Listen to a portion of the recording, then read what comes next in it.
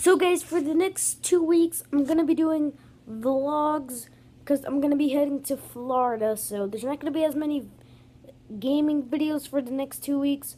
I'm packing up to go to Florida. I'm going to go to Florida in six hours.